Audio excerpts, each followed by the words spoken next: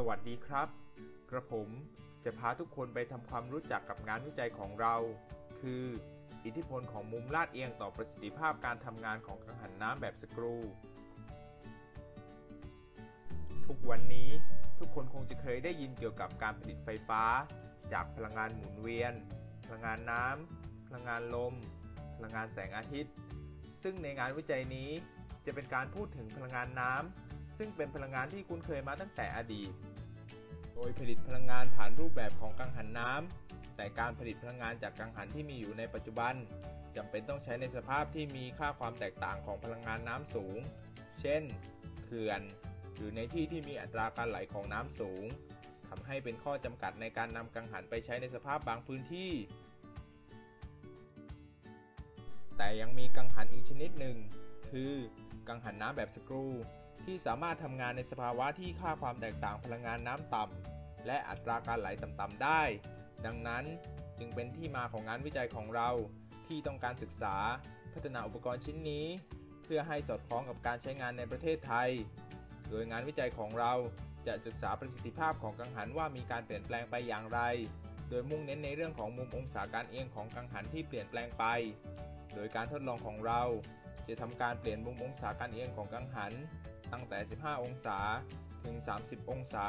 เพื่อให้ทราบถึงลักษณะการเปลี่ยนแปลงประสิทธิภาพที่เปลี่ยนแปลงไป จากมุม 22.5 องศา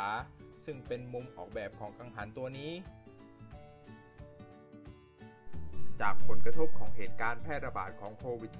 -19 ทำให้เราเก็บข้อมูลการทดลองได้เพียง 4 ค่า คือที่ 15 องศา 17.5 องศา 20 องศา และ 22.5 องศา โดยพบว่าประสิทธิภาพของกังหันสูงขึ้นไปจนถึงมุมที่ 17.5 องศา และหลังจากนั้น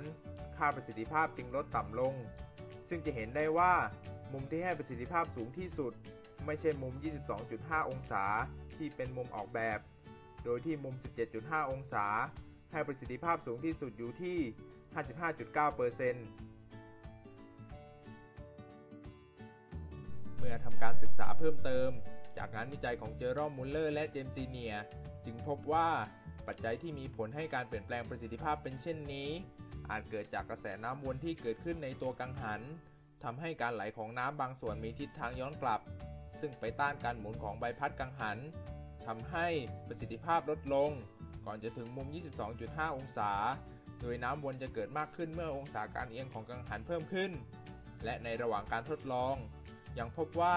เมื่ออัตราการไหลสูงขึ้น ประสิทธิภาพของกังหันก็สูงขึ้นด้วย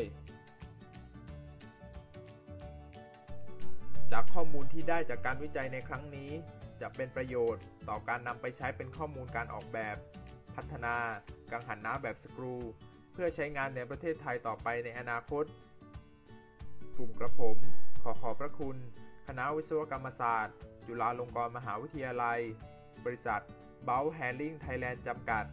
และอาจารย์ที่ปรึกษาทั้งสองท่าน ที่ให้การสนับสนุนงานวิจัยครั้งนี้